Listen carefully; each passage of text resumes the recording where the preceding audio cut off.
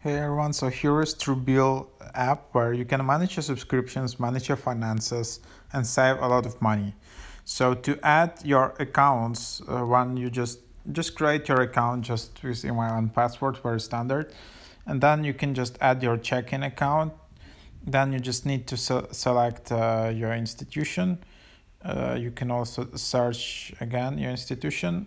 Um, and if you have any issues, you can just super easily contact in top left. So from here, you can just connect and then uh, you can just go to Plaid, enter your credentials and then you know, just log in and that's how you connect your checking.